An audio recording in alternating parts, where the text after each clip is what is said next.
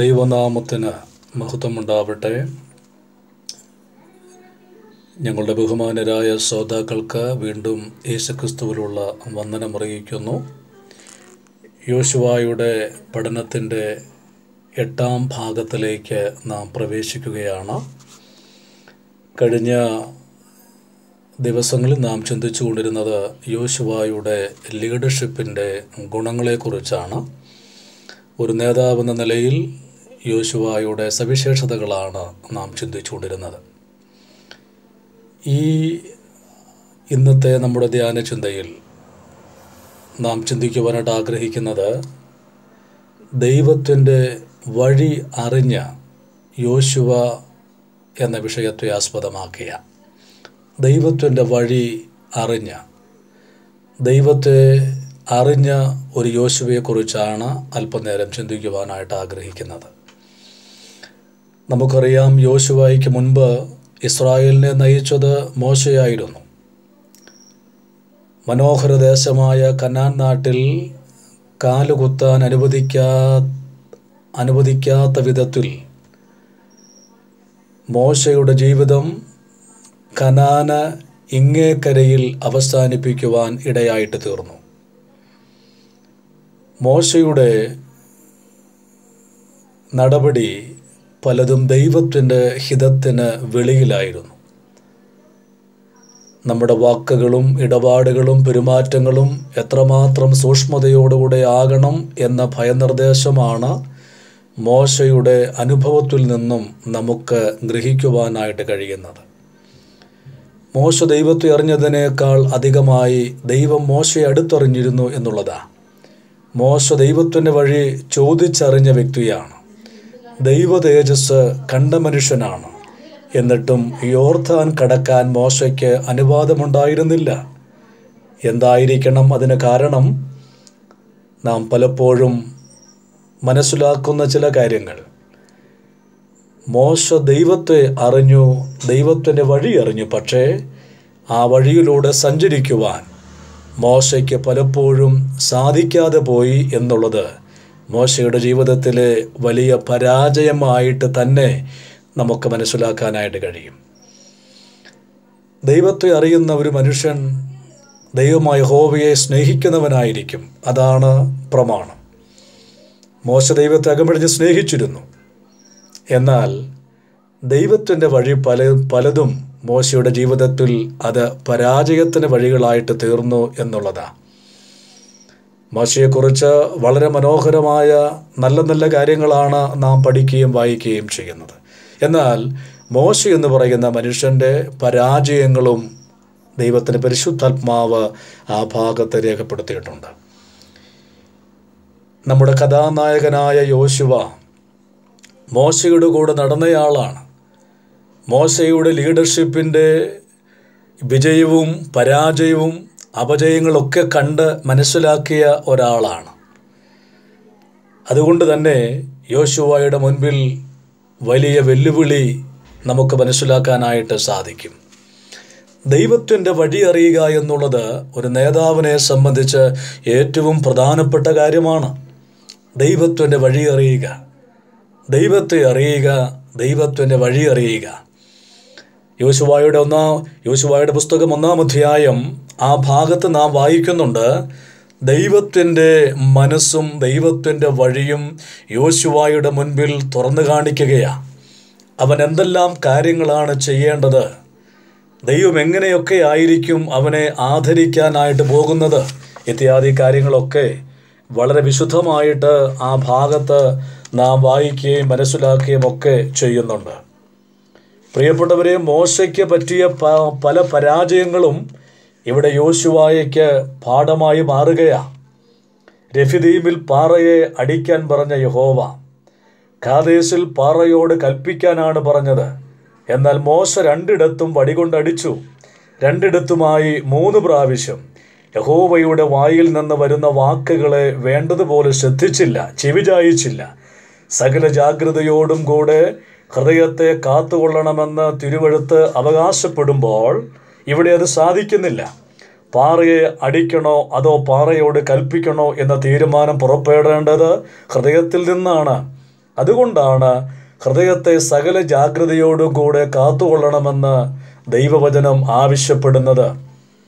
അപ്പോൾ മോശയുടെ പരാജയം നന്നായിട്ട് മനസ്സിലാക്കിയ ഒരു യോശുവയാണ് ഇന്ന് ജനത്തെ നയിക്കുന്നത്. അതുകൊണ്ട് തന്നെ മോശയുടെ പരാജയം യോശുവയുടെ ജീവിതത്തിലെ വലിയ മുന്നറിയിപ്പിന്റെ വഴികളായിട്ട് മാറുകയാണ് ഇവിടെ നാം ഒരു കാര്യം മനസ്സിലാക്കുന്നു. ദൈവത്തിന്റെ വഴി നന്നായിട്ട് മനസ്സിലാക്കുന്ന ഒരു യോശുവ. ബഹുമാന പ്രിയപ്പെട്ടവരെ ഒരു നേതാവ് നിശ്ചയമായിട്ടും ദൈവത്തിന്റെ വഴി അറിയുന്നവനാകണം.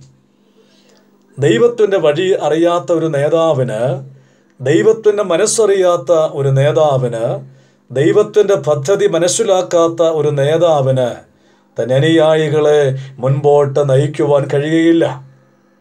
ചില കാര്യങ്ങൾ ദൈവത്തിന് വഴി അറിയുന്നതിനെ സംബന്ധിച്ച് ചില കാര്യങ്ങൾ വേഗത്തിൽ ചിന്തിച്ച് മുൻപോട്ട് പോകാനായിട്ട് ഞാൻ കർത്താവിൽ ശരണപ്പെടുകയാണ്. ദൈവ ഒന്നാമത്തെ കാര്യം ദൈവത്തിന്റെ വഴി അറിയുന്ന ഒരു മനുഷ്യൻ നേർവഴിയിൽ നടക്കുന്നവനായിരിക്കും. അതാണ് ഒന്നാമത്തെ കാര്യം. ഇടത്തോട്ടോ വലത്തോട്ടോ തിരിയുകയില്ല. അഥവാ ഇടത്തോട്ടോ വലത്തോട്ടോ തിരിയാൻ തുടങ്ങുമ്പോൾ വഴി ഇതാകുന്നു. ഇതിൽ നടന്നുകൊള്ളുവീൻ എന്നൊരു വാക്ക് പിറകിൽ നിന്ന് കേൾക്കും. ഉടനെ നേർ വഴിയിൽ സഞ്ചരിക്കണം. അപ്പോൾ ഒരു പക്ഷേ വഴി തെറ്റിയാൽ അവിടെ ദൈവത്തിന്റെ പരിശുദ്ധാത്മാവ് നമുക്ക് മുന്നറിയിപ്പായിട്ട് വരികയാണ്. വഴി ഇതാകുന്നു എന്ന ശബ്ദം നമ്മെ കേൾപ്പിക്കുകയാണ്. ദൈവം സ്നേഹിക്കുന്ന ഏവരെയും കർത്താവ് ഇങ്ങനെ നടത്തുന്നവനാണ്. യോശുവ ഈ ശബ്ദം കേട്ടവനാണ്. അതുകൊണ്ട് തന്നെ യോശുവായുടെ ജീവിതത്തിൽ ദൈവത്തിന്റെ വഴി അവന് ഗ്രഹിക്കുവാനായിട്ട് സാധിച്ചു. പ്രിയപ്പെട്ടവരെ അങ്ങനെ മനസ്സിലാക്കിയാൽ ആ വഴിയിൽ നാം സഞ്ചരിക്കുന്നവരായിരിക്കണം. അപ്പോൾ ദൈവത്തിന്റെ വഴി അറിയുന്ന ഒരു മനുഷ്യൻ ദൈവത്തിന്റെ നേർവഴിയിൽ നടക്കുന്നവനായിരിക്കും. മറ്റൊരു കാര്യം ദൈവത്തിന്റെ വഴി അറിയുന്ന ഒരു മനുഷ്യൻ നീതിയുടെ വഴിയിൽ നടക്കുന്നവനുമായിരിക്കും. രണ്ട് പത്രോസൻ ലേഖനം രണ്ടിന് ഇരുപത്തി ഒന്നിൽ നാം എങ്ങനെ അത് ആ വായിക്കുന്നുണ്ട്. തങ്ങൾക്ക് ഏൽപ്പിച്ചു കിട്ടിയ വിശുദ്ധ കൽപ്പനയെ. നീതിയുടെ വഴി അറിഞ്ഞ ശേഷം വിട്ടുകളയുന്നത് ഗുരുതരമായ വീഴ്ചയാണ്. അനന്തര ഫലം അതീവ ഖേദകരവുമാണ്. അതുകൊണ്ട് ദൈവത്തിന്റെ വഴി അറിയുന്ന ഒരു മനുഷ്യൻ നേർവഴിയിൽ നടക്കുക എന്ന് മാത്രമല്ല അവൻ നീതിയുടെ വഴിയിൽ നടക്കുന്നവനുമായിരിക്കും. എന്താണ് ഇവിടെ നീതി എന്ന് ഉദ്ദേശിക്കുന്നത്? ഇത് മനുഷ്യന്റെ നീതിയല്ല സ്വയം നീതിയല്ല ഇവിടെ ദൈവത്തിനൊരു നീതിയുണ്ട്. ദൈവത്തിന്റെ നീതി എന്ന് പറയുന്നത് ദൈവം അരുളി തന്നിരിക്കുന്ന വചനത്തിന് അനുസരിച്ച് അത് ചെയ്യുക എന്നുള്ളതാണ് ദൈവവചനം ഇടത്തോട്ടോ വലത്തോട്ടോ മാറാനായിട്ട് പാടില്ല. അത് നിന്റെ ഹൃദയത്തിനകത്ത് സൂക്ഷിക്കണം. വളരെ സൂക്ഷ്മതയോടുകൂടെ വേണം ദൈവത്തിന്റെ വചനം ശ്രദ്ധിച്ച് മുൻപോട്ട് പോകുവാൻ. അതിനകത്താണ് ദൈവത്തിന്റെ വഴിയും ദൈവത്തിന്റെ ഹിതവുമൊക്കെ രേഖപ്പെടുത്തിയിട്ടുള്ളത്. അങ്ങനെയാണെങ്കിൽ ദൈവത്തിന് വഴി അറിയുന്ന ഒരു മനുഷ്യൻ നീതിയുള്ള വഴിയിലൂടെ സഞ്ചരിക്കുവാൻ ഇടയായിട്ട് തീരും. മറ്റൊരു കാര്യം ഇവിടെ നാം വായിക്കുന്നത് ദൈവത്തിന്റെ വഴി അറിയുന്ന ഒരു മനുഷ്യൻ ദൈവത്തിന്റെ എല്ലാ വഴികളിലും നടക്കുന്നവനായിരിക്കും. പ്രിയപ്പെട്ടവർ ഇത് വളരെ ശ്രദ്ധേയമായ ഒരു കാര്യമാണ് ദൈവത്തിന്റെ വഴി അറിയുന്ന ഒരു മനുഷ്യനെ സംബന്ധിച്ച് അവൻ ദൈവത്തിന്റെ ഒരു വഴികളിലല്ല ഏതാനും വഴികളിലുമല്ല. എന്നാൽ അവൻ എല്ലാ വഴികളിലും നടക്കുന്നവനായിരിക്കും എന്നുള്ളത് നാം മറന്നു പോകരുത്. സദൃശവാക്യം മൂന്ന് ആറ് നാം ഇങ്ങനെ വായിക്കുന്നുണ്ട് ദൈവത്തിന്റെ എല്ലാ വഴികളിലും നടക്കണമെങ്കിൽ ദൈവം ആജ്ഞാപിക്കുന്ന സകല കൽപ്പനകളും ജാഗ്രതയോടുകൂടെ പ്രമാണിക്കണം. അപ്പോൾ ദൈവം വെച്ചിരിക്കുന്ന ദൈവത്തിന്റെ എല്ലാ വഴികളിലും ഒരാൾ നടക്കണമെങ്കിൽ ഒരു നേതാവ് ദൈവത്തിന്റെ എല്ലാ വഴികളിലും സഞ്ചരിക്കണമെങ്കിൽ നാം എന്ത് ചെയ്യണമെന്നാണ് ഈ ഭാഗത്ത് പറയുന്നത്? ദൈവം ആജ്ഞാപിക്കുന്ന സകല കൽപ്പനകളിലും ജാഗ്രതയോടുകൂടെ നമുക്ക് പോകാനായിട്ട് സാധിക്കണം. പ്രിയപ്പെട്ടവര് എന്തിനും ഏതിനും ദൈവത്തിനൊരു വഴിയുണ്ട്. ആ വഴി തികവുള്ള വഴിയാണ് എന്ന് നമുക്ക് മനസ്സിലാക്കാനായിട്ട് സാധിക്കും. ആകാശം ഭൂമിക്ക് മീതെ ഉയർന്നിരിക്കുന്നത് പോലെ എന്റെ വഴികൾ നിങ്ങളുടെ വഴികളിലും എന്റെ വിചാരങ്ങൾ നിങ്ങളുടെ വിചാരങ്ങളിലും ഉയർന്നിരിക്കുന്നു എന്ന് നാം യശിയാവിന്റെ പുസ്തകത്തിൽ വായിക്കുന്നുണ്ട്.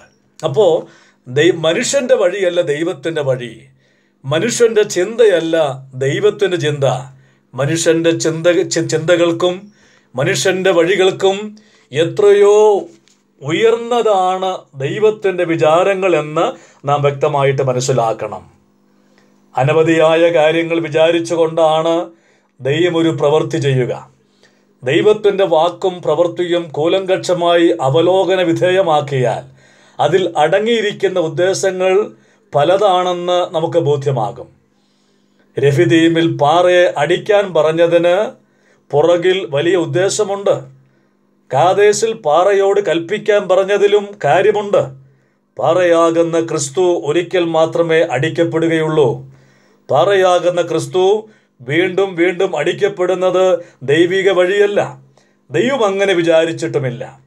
എബ്രായ ലേഖന കർത്താവിലൂടെ പരിശുദ്ധാത്മാവായ യാഥാർത്ഥ്യം വെളിപ്പെടുത്തുന്നുണ്ട്. മഹാപുരോഹിതൻ ആണ്ടുതോറും അന്യരക്തത്തോടുകൂടെ വിശുദ്ധ മന്ദിരത്തിൽ പ്രവേശിക്കുന്നത് പോലെ അവൻ തന്നെത്താൻ കൂടെ കൂടെ അർപ്പിപ്പാൻ ആവശ്യമില്ല.